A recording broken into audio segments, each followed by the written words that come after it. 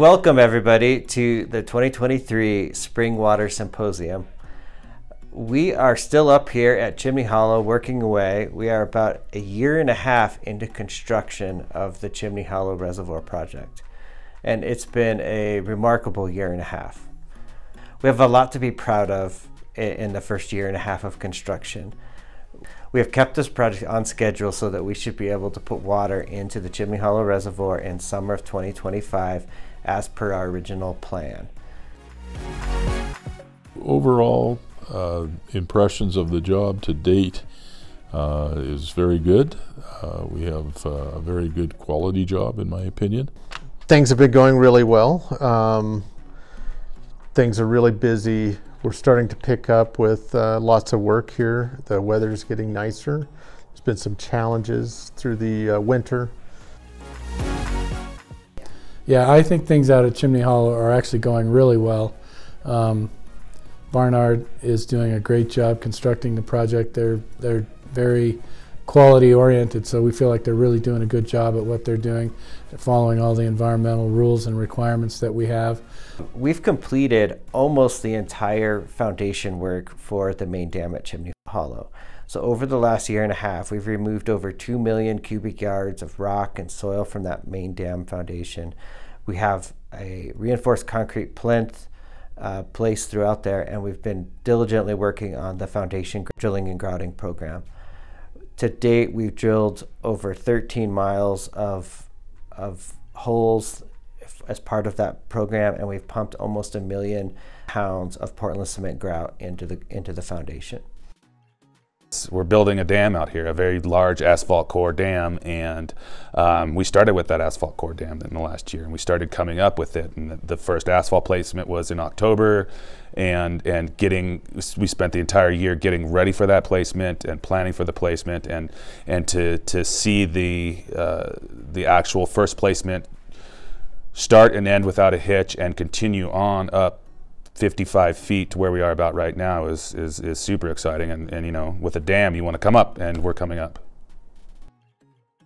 We have developed our quarry so that it is now ready to deliver over 60,000 tons per day of materials to that main dam foundation as we start building the embankment this year. We have completed all of the access roads and the bridge to the future public recreation area at Chimney Hollow and all of the excavation work for our valve house is completed. We have also completed about half of the Chimney Hollow conduit, which is the six foot diameter steel pipeline that brings water into the reservoir. And we've also completed our first connection to the Colorado Big Thompson project up at the Bald Mountain Tunnel, where we are going to be able to divert water out of the Colorado Big Thompson project into the reservoir tying into the CBT system with our infrastructure was very exciting because that needed to happen um, in order for us to get water into the reservoir. And it was an exciting time because we were, uh, the entire project was under the gun uh, to get to get the tie-in completed in a, in a in a scheduled outage and on time. And so there was there was a lot of pressure and a lot of a lot of eyeballs on that, and um, and and it was performed uh, pretty much flawlessly, and that was a very exciting time for for a lot of people on site, including myself.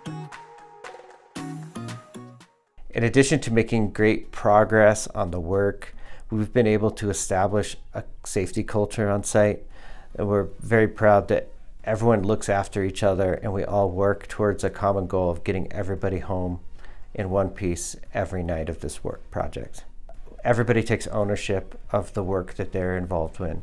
That means that our engineers, our construction managers, our inspectors, uh, our contractor, they all work to build the highest quality infrastructure and, and something that they can be proud of as as a big part of their career.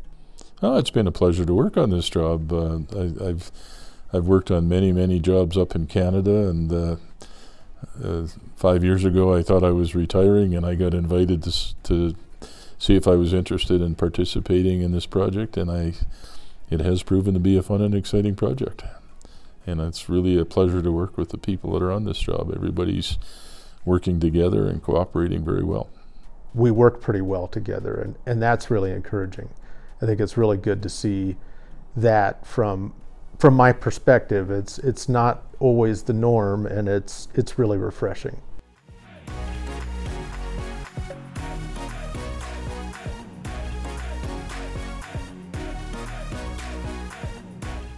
When we did the Windy Gap firming project on the west slope, we wanted to come up with a plan that would improve the environment over there while at the same time we were taking more water in certain years. So we wanted to make improvements to the environment uh, for aquatic species and fish mostly. Most of the issues were in the Colorado River. The biggest concern that people on the west slope had was related to Windy Gap Dam and Reservoir. They felt that the dam and reservoir had damaged the Colorado River itself. Fish couldn't migrate above and below the dam, as well as the food species for fish, whether they were bugs or other smaller fish. So what we ended up doing was doing a study and then coming up with what we call the Colorado River Connectivity Channel, which is a, in essence, what we're doing is making Windy Gap Reservoir smaller by moving the dam and building a channel around the outside of the dam so that most of the time the water will flow through that channel and it will act as a natural stream system. So that was the biggest um, piece of mitigation that we did. Started construction last year.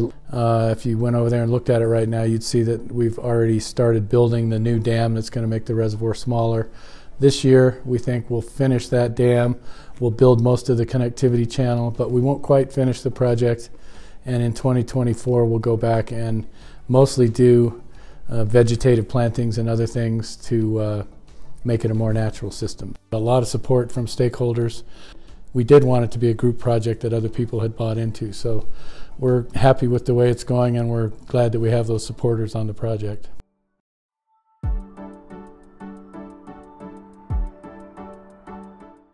We agreed to turn off our pumps when the temperatures in the river were higher than uh, is safe for fish. We agreed to have higher flushing flows in the river so that there would be times every few years where there were higher flows to kind of clean out the, the bed of the river. We also agreed, because there were some concerns with water quality in the three lakes, Granby Reservoir, Grand Lake, and Shadow Mountain Reservoir, we agreed to remove nutrients in the Windy Gap water that's pumped up there or remove nutrients from the system. So we are right now making improvements to wastewater treatment plants and on some ranches over there to minimize the nutrients in the system. So we we also, as part of a legal settlement to move forward with our project, we provide uh, $15 million to the Grand Foundation, which is a, a charity on the West Slope. They will use that money to give grants to projects to do the same thing, improve water quality, stream restoration, and things like that. So by doing all of that mitigation, we feel like we've met our goal of uh, improving the system to a point where it's going to be healthier in the future than it is today.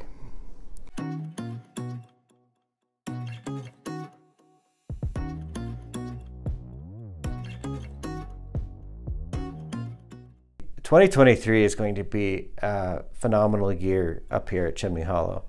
This project has a number of features of work, and each feature of work is its could be its own um, major public works project in, in, northern Colorado.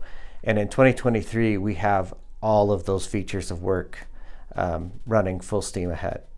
The upcoming year is going to be the busiest of the four years of construction. And by busy, I mean very busy. We've got a lot continuing to happen and, and several significant things being completed. In 2023, we will build the main dam about 180 feet tall. So that will take it to about the halfway point in construction.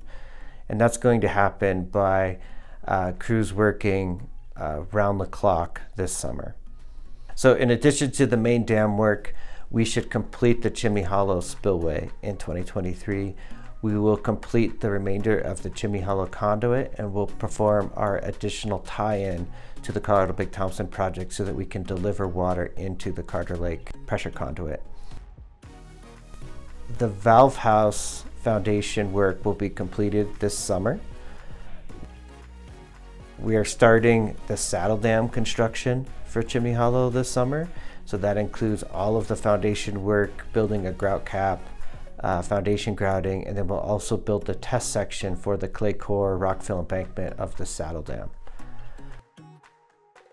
We will complete the excavation of the 2,000 foot long tunnel that delivers water in and out of Chimney Hollow Reservoir so that by the end of the summer you will be able to walk the in and out of that tunnel from end to end.